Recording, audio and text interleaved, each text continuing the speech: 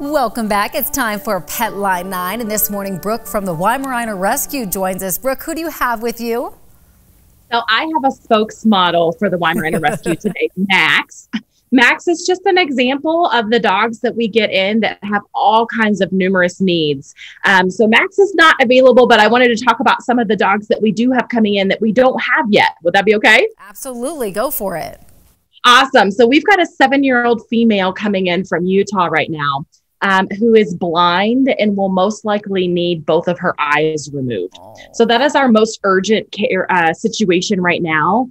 And then, really, we get dogs pulled from shelters all the time here in Colorado, Kansas, Utah, South Dakota, and the surrounding states. Oh, that breaks my heart. So, how can people learn more about the dogs that are coming in for adoption?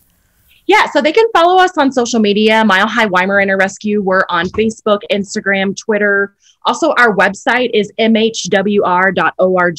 We put all of our available dogs there. We also have donation requests on the website too. So you can always put in a donation.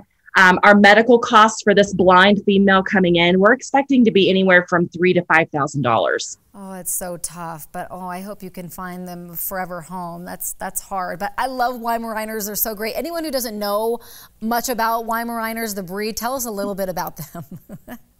yeah, so these guys are woo bred to be German hunting dogs. They are very active. They are very smart, um, and they're also very family and people oriented. They love their people. They love to bond. They love to be outdoors. Um, and really, they're just great, great animals. But you do have to be understanding of this breed because they are wicked smart and yes. can get in some trouble.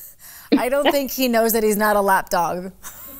right. He's actually 100 pounds. I wish you could see this whole big love. But oh my yeah, gosh, 100 pounds so of love. Sweet. Well, we're going to put all the information about your rescue on our website at 9news.com. And what a snuggle bug. So cute. Thank you so much for joining us. You're welcome. Thanks for having us, as always.